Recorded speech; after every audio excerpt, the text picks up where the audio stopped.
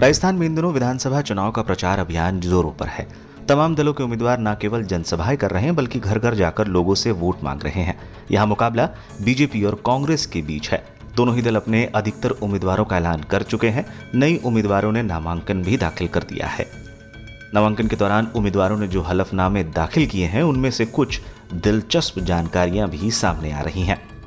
करोड़पति से अरबपति हो गई सिद्धि कुमारी सिद्धि कुमारी जिन्हें बीजेपी ने बीकानेर पूर्व से अपना उम्मीदवार बनाया है। सिद्धि कुमारी पाँच साल में करोड़पति से अरबपति बन गई हैं। 2018 में दिए गए हलफनामे के मुताबिक उनकी कुल संपत्ति 8.89 करोड़ रुपए थी, जो अब बढ़कर 1.11 अरब रुपए हो गई है। बीकानेर राजघराने की पूर्व महारानी और सिद्धि कुमारी की माँ सुशीला कुमारी की मौत के बाद उनकी संपत्ति का एक बड़ा हिस्सा सिद्धि कुमारी को दिया गया था, जिसकी कीमत 80 करोड़ रुपए से ज़्यादा थी। पूर्व सीएम वसुंधरा राजे की संपत्ति में भी इजाफा। पूर्व सीएम वसुंधरा राजे की ज्वेलरी में एक करोड़ रुपए का इजाफा हुआ है। 2018 में दिए गए हलफनामे के मुताबिक उनके पास एक दशमलव आठ करोड़ रुपए की ज्वेलरी थी, जो इस बार बढ़कर दो दशमलव चार शून्य करोड़ रुपए हो गई है।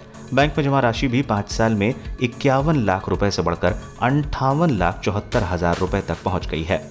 सीपी जोशी हैं इतने करोड़ के मालिक।